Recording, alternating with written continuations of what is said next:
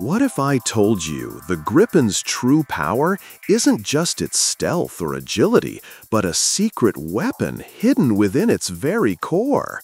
We're diving deep into the Rolls-Royce engine that makes the Gripen an unparalleled force in NATO's arsenal.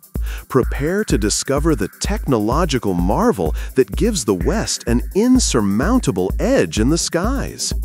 Forget everything you thought you knew about air superiority. The Gripen isn't just another fighter jet.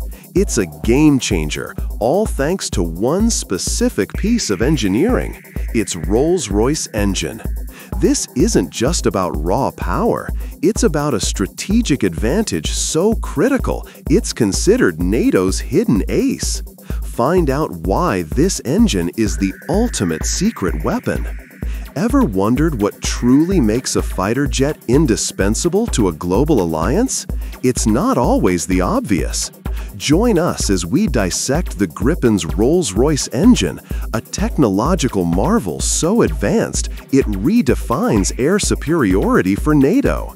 You're about to uncover the cutting-edge secrets behind its exceptional performance and strategic importance. Sleek, nimble, unstoppable.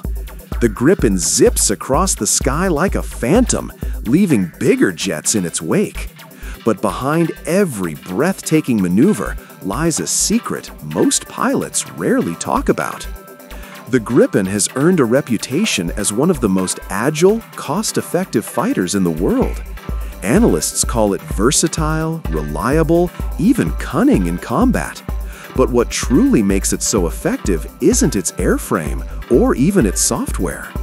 There's an unsung hero powering every twist, climb, and evasive maneuver, a hidden force that transforms a standard fighter into a tactical marvel.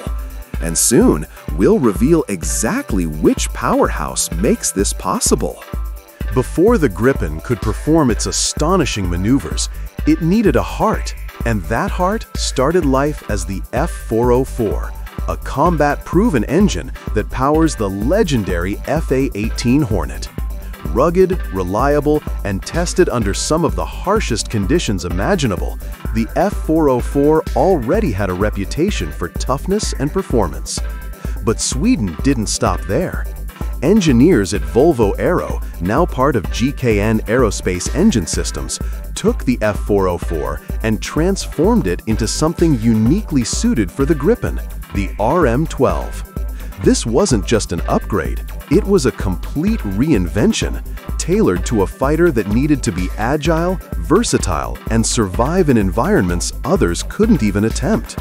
The modifications are subtle but critical, an upgraded afterburner delivers more thrust on demand. Structural reinforcements enhance durability and reliability under extreme conditions.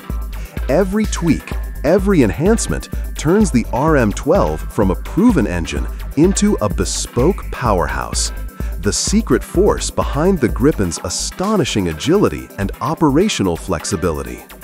The Gripen's performance in the air is nothing short of extraordinary, and much of that comes from its powerhouse, the RM12 engine. One of its most impressive feats is supercruising, the ability to maintain supersonic speeds without engaging afterburners. For pilots, this isn't just a fuel-saving trick, it's a tactical advantage. Staying supersonic without the afterburner reduces heat signature, preserves fuel, and allows the jet to strike or evade quietly, leaving heavier fighters struggling to catch up. But speed is just one part of the story. The RM-12's rapid thrust response makes the Gripen a master of short takeoff and landing operations. Unlike other modern fighters that require long, well-prepared runways, the Gripen can launch from roads, temporary strips, or icy Nordic airfields. In a real conflict, where large airbases are prime targets, this agility ensures the Gripen can stay in the fight even when traditional bases are compromised.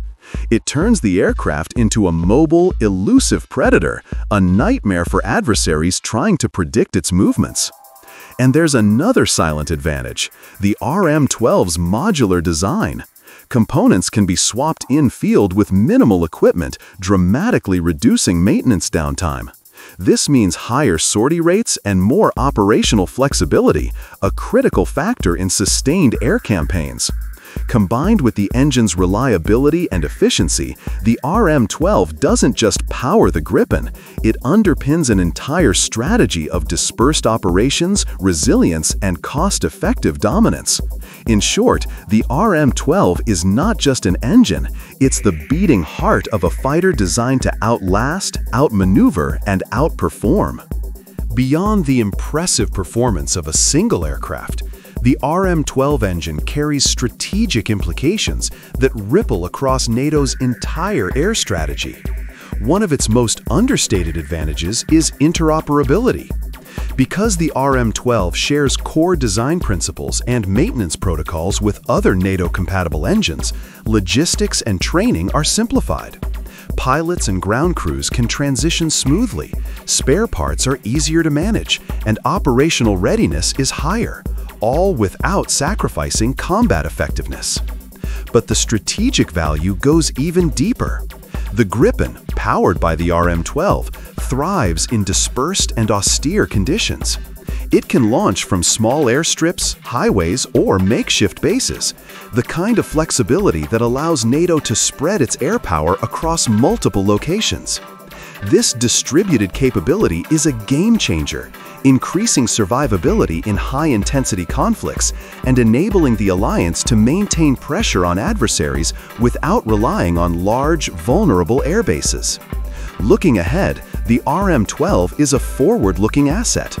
Its modular design, robust architecture, and potential for upgrades mean the Gripen fleet can evolve alongside emerging technologies, from improved digital controls to next-generation fuel systems and enhanced thrust capabilities.